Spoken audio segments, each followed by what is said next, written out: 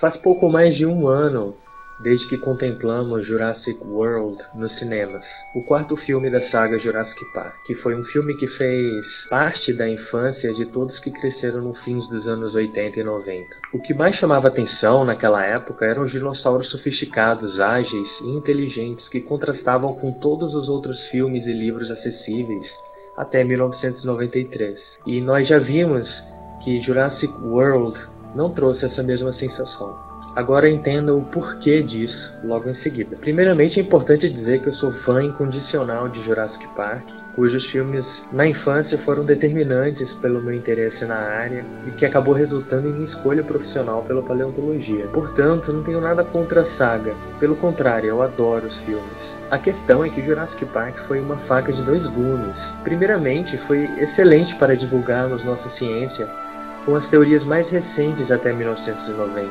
Porém, quando se tornou um clássico instantâneo, estagnou e bloqueou a entrada de avanços científicos na mídia popular. Ainda hoje apresentam os dinossauros com aparência obsoleta reptiliana no estilo dos anos 90. E isso não ficou só para o Jurassic Park espalhou-se por toda forma de mídia, jogos eletrônicos, filmes, livros, seriados e por aí vai. E qual é o impacto disso? Até hoje tenho debates com colegas de outras áreas de pesquisa para convencê-los de que as aves são dinossauros. Inclusive, entre paleontólogos já utilizam seus termos dinossauros não avianos e dinossauros avianos para se referirem entre os dois grandes grupos.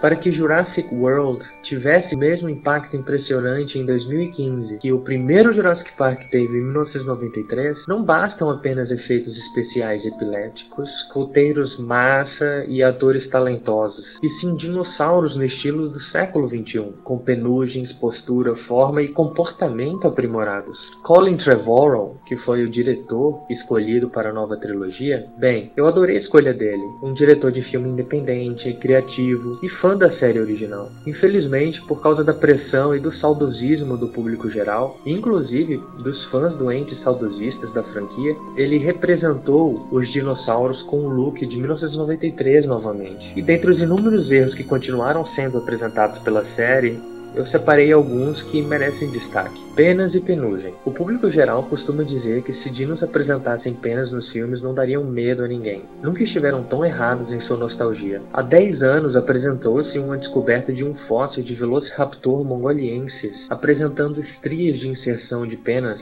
em sua una, o osso do braço. Houve uma, uma explosão de descobertas de diversos tipos de dromeosaurídeos, esses dinossauros raptores. Você pode saber um pouco mais sobre os raptores e toda essa questão nesse outro vídeo aqui. A atual discussão da filogenia desse grupo de dinossauros é uma das mais quentes na área. Então, como deveriam ser os dinossauros corretamente interpretados nos dias de hoje? Eles pareceriam galinhas então? porque tem penas?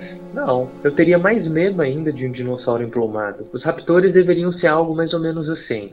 Tiranosauroides também têm sido encontrados com penas. Foi o caso do Eutyrannus, uma forma basal do grupo encontrado na China, já apresentando longas penugens semelhantes às do avestruz. A visão atual de como um Tyrannosaurus rex deveria ser poderia ser como aqui nessa imagem com relação à anatomia. O público nostálgico não consegue se desvincular do formato dos dinos dos anos 90. As mãos de dinossauros terópodes, como o T-Rex e o Velociraptor dos filmes, apresentam-se de uma maneira errônea. O punho dos raptores dobrava-se lateralmente, como os das aves. Os punhos dos terópodes, como o Tiranossauro, eram voltados para o peito, como se estivessem segurando uma bola de basquete. A postura da mãozinha de faraó egípcio, que ainda é apresentada hoje em filmes e jogos, já é uma visão ultrapassadíssima. Outra ideia errada é aquela que os filmes propagaram de se você ficar parado, ele não te enxerga. Aham, uhum, vai nessa mesmo. Essa ideia errada é talvez a que mais liga Jurassic Park aos anos 80 e 90. Terópodes, como o T-Rex,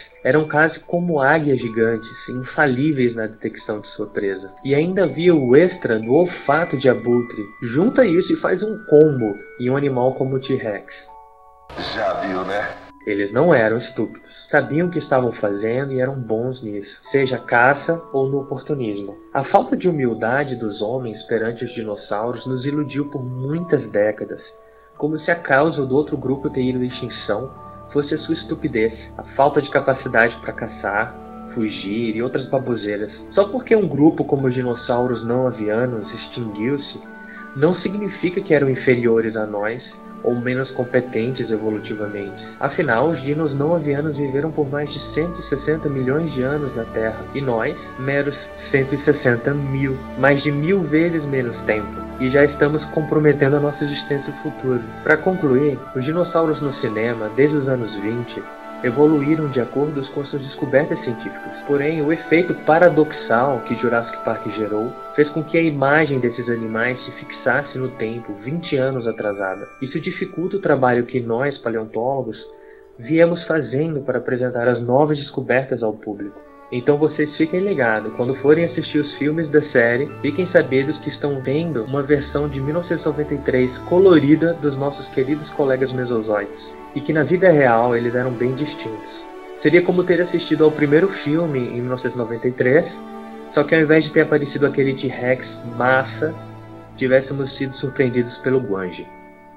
Quem quiser saber mais sobre a nossa opinião de Jurassic World, assista esse vídeo aqui. No mais, muito obrigado por assistirem ao nosso canal. Você pode nos ajudar a produzir mais vídeos como esse fazendo uma doação pelo nosso canal. Junte-se a outros apoiadores e ajude a realizar nosso sonho de divulgar ciência de forma livre em nosso país.